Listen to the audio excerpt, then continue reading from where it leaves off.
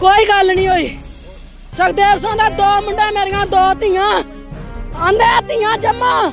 ਮੈਂ ਨਹੀਂ ਧੀਆਂ, ਮਾਰੋ। ਮੇਰਾ ਇੱਕ ਬੱਚਾ ਛੋਟਾ। ਹੈ ਸੁਖਦੇਵ ਸਿੰਘ ਆਂਦਾ, ਮੇਰਾ ਪੁੱਤ ਲੈ ਲਾ।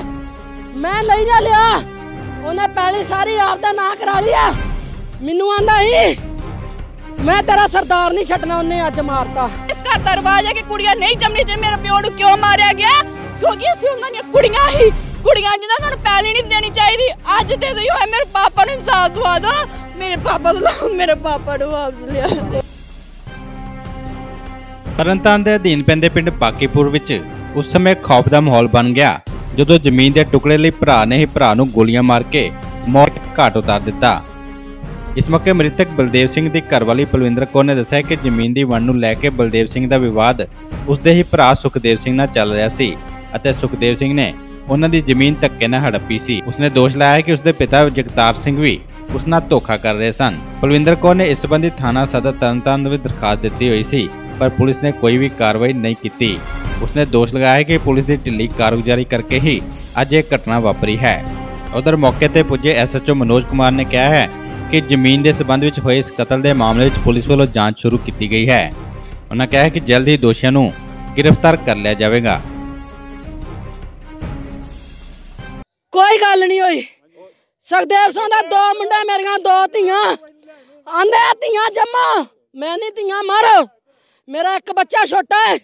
ਸੁਖਦੇਵ ਸਿੰਘ ਆਂਦਾ, ਮੇਰਾ ਪੁੱਤ ਲੈ ਲਾ। ਮੈਂ ਲਈ ਜਾ ਲਿਆ। ਉਹਨੇ ਪਹਿਲੀ ਸਾਰੀ ਆਪ ਦਾ ਨਾਂ ਕਰਾ ਲਿਆ ਮੈਨੂੰ ਆਂਦਾ ਹੀ ਮੈਂ ਤੇਰਾ ਸਰਦਾਰ ਨਹੀਂ ਛੱਡਣਾ, ਉਹਨੇ ਅੱਜ ਮਾਰਤਾ। ਸਾਰਾ ਟੱਬਰ ਨਾਲ ਜੋ। ਕੱਦਾਂ ਵਾਲਿਆਂ ਦੀ ਸਪੋਰਟ ਜੋ। ਹੁਸ਼ਿਆਰ ਸਿੰਘ, ਸਾਨਾ ਮਕਤੂਲ ਸਿੰਘ ਮਰੜੀ ਤੋਂ। ਕਸ਼ਮੀਰ ਸਿੰਘ, ਹਰਜਿੰਦਰ ਕੌਰ, ਸੁਖਦੇਵ ਸਿੰਘ, ਉਹਦਾ ਸਾਰਾ ਪਰਿਵਾਰ, ਸੁਖਦੇਵ ਦਾ ਜਿੰਨਾ ਪਰਿਵਾਰ ਆ ਉਹਦਾ, ਸਾਰਾ ਪਰਿਵਾਰ ਜੋ ਭੈਣ ਕੱਦਾਂ ਵਾਲੀ ਦਾ, ਸਾਲਾ ਉਹਦਾ ਸਹੁਰਾ ਕੱਦਾਂ ਵਾਲੀ ਦਾ, ਮੈਂ ਲਲਕਾਰ ਕੇ ਆਂਦੀ ਜੋ, ਮੈਂ ਦੋ ਘਰਾਂ 'ਚ ਇੱਕੋ ਇਸ ਨੂੰ ਐਸਾ ਨਹੀਂ ਦਿੰਦਾ, ਧੀਆਂ ਦਾ ਪਿਓ ਕਰਕੇ ਮਾਰਿਆ।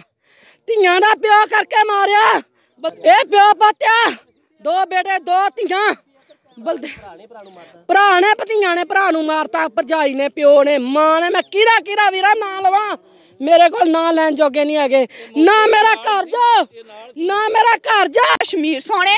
ਬਲ ਸੁਖ ਬਲਦੇਵ ਸਿੰਘ ਨੂੰ ਗੋਲੀ ਮਾਰ ਕੇ ਗਏ ਸੁਖਦੇਵ ਸਿੰਘ, ਮਨਜਿੰਦਰ ਤੇ ਮਾਂ ਤੇ ਮੈਂ ਆਪਣੀ ਅੱਖੀ ਵੇਖਿਆ। ਰਣਜੀਤ ਉੱਥੇ ਖੜੀ ਸੀ। ਜਗਤਾਰ ਸੰਧ ਜਿਹੜੀ ਉਹ ਉੱਥੇ ਵੇਖਣ ਦੇ ਖੜੇ ਹੋ ਗਏ ਜਿਹੜਾ ਨਾਲ ਦਾ ਘਰ ਉਹਨਾਂ ਨੇ ਫੋਨ ਕੀਤਾ ਸੀ। ਤੇ ਮੇਰਾ ਤੁਹਾਡੇ ਸਾਰੇ ਲਾਣਾ ਜੇ ਤੁਸੀਂ ਹੈਗੇ ਇਹ ਕਹਿੰਦੇ ਇਸ ਘਰ ਦਾ ਰਿਵਾਜ ਹੈ ਕਿ ਕੁੜੀਆਂ ਨਹੀਂ ਜੰਮਣੀ ਜੇ ਮੇਰੇ ਪਿਓ ਨੂੰ ਕਿਉਂ ਮਾਰਿਆ ਗਿਆ?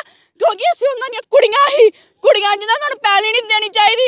ਅੱਜ ਦੇ ਦਿਓ ਹੋਏ ਮੇਰੇ ਪਾਪਾ ਨੂੰ ਇਨਸਾਫ ਦਵਾ ਦੋ ਮੇਰੇ ਪਾਪਾ ਨੂੰ ਮੇਰੇ ਪਾਪਾ ਨੂੰ ਵਾਪਸ ਲਿਆ ਚਾਤਾਇਆ ਤਾਇਆ ਲੱਗਦਾ ਸੀ। ਲੱਗਦਾ ਤਾਇਆ ਤਾਇਆ ਲੱਗਦਾ ਸੀ ਤਾਇਆ ਮੇਰਾ ਲੱਗਦਾ। ਨਾਲ ਤਾਏ ਦੇ ਮੁੰਡੇ ਸੀ ਦੋਨੋਂ ਨਾਲ ਉਹਦੀ ਘਰ ਵਾਲੀ ਉਹਦੇ ਮੋਟਰਸਾਈਕਲ ਤੇ ਭੱਜ ਗਏ। ਨਾਲ ਅੱਠ ਹਣ ਪਛਾਤਾ ਹੀ।